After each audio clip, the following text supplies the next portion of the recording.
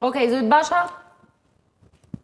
Në këtë panel të nderuar, vetëm unë jam politikan, kështu që më takon të shikoj dhe unë e shikoj komplet ndryshe këtë situatë. Atëherë, SPAK-u si strukturë e posaçme në këtë vend.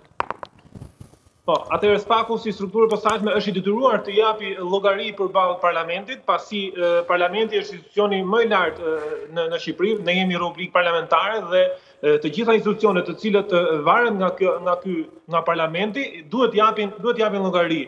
Unë mendoj që pyetja e zotit Bardhi në drejtim të të kreut të SPAK-ut ishte më shumë një pyetje për të hedhur edhe pak dritë sepse ai bëri një akuzë shumë të rëndë ndaj kryeministrit. Ai tha që Nëpërmjet një personi të deleguar, kryeministri ka tentuar të të intimidojë apo të bëjë presion ndaj SPAK-ut dhe nuk ishte qëllimi për të për të ftuar kreun e SPAK-ut për të nxjerrë detaje nga hetimi, por aty kreut të SPAK-ut iu tha që ekzistojnë informacione dhe këtë e tha kryetari i grupit parlamentar të Forcës më të madhe opozitare, ka informacione që ju i keni marrë kërcënime drejtpërdrejt nga kryeministri. Dhe kjo është një përgjigje që kreu i SPAK-ut duhet ta japi sepse është një institucion i cili mban peshë shumë të rëndësishme në Shqipëri.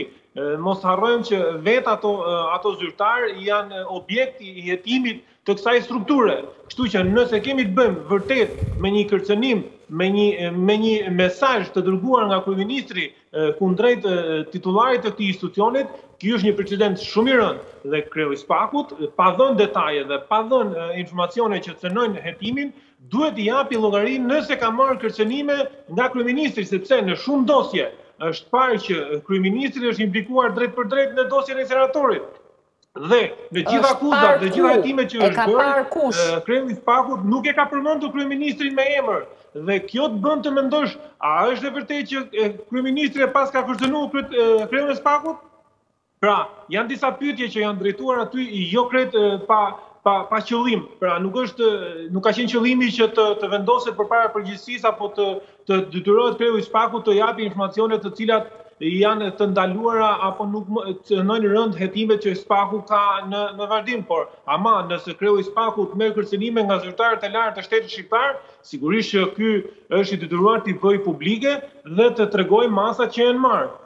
E dyta, po, është tentuar të, të intimidohet nga mazhoranca SPAK-u, sepse një, ajo duartrokitje që iu bë fjalimit të tij për mua duhet parë si formë presioni, sepse asnjë nga ata deputetë që janë në atë parlament nuk ka për detyrë të duartrokasë një institucion i cili është var, në vartësi të atij, atij institucioni. Pra, si mund edhe ti të duartrokasësh vartësin, apo atë i cili ty po të heton, pa asnjë lloj arsye.